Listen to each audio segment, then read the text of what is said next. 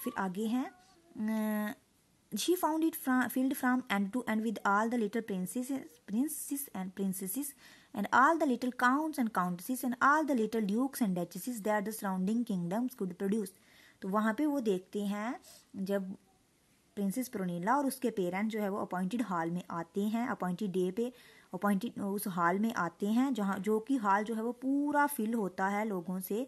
कौन कौन आया होता है? प्रिंसेस आए होते हैं प्रिंसेसिस आई होती हैं little counts countesses dukes duchesses सारे आए होते हैं, जो कि आसपास के किंगडम्स ने आसपास के राज्यों ने जो, आसपास के राज्यों के जो किंगडम वो जो होते हैं प्रिंस और प्रिंसेस वो सारे वहाँ पे आए The princess suddenly jumped to her feet again and pointed towards the door.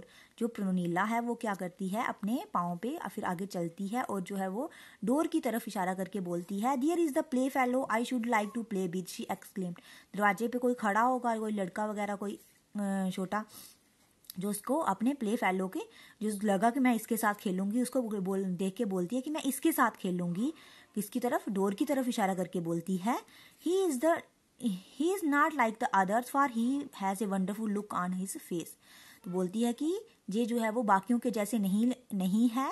इसके फेस पे, इस लड़के के फेस पे जो है वो अलग तरह की लुक है। मतलब ये अलग अलग तरह का लग रहा है देखने में। Everybody looked around at the doorway सारे जो है वो डोर की तरफ़ देखने लगे। And sure enough there stood a boy whom no one had notice before तो वहाँ पे सभी ने देखा तो वहाँ पे एक लड़का खड़ा था, जिसको पहले किसी ने नोटिस नहीं किया था, किसी ने भी उसकी तरफ़ नहीं देखा था। Come come prince commanded the princess. और प्रिंसेस प्रनीला बोलती है कि इधर प्रिंस, इधर आओ मेरे पास। ठीक है, आज हम यहाँ तक ही रखते हैं।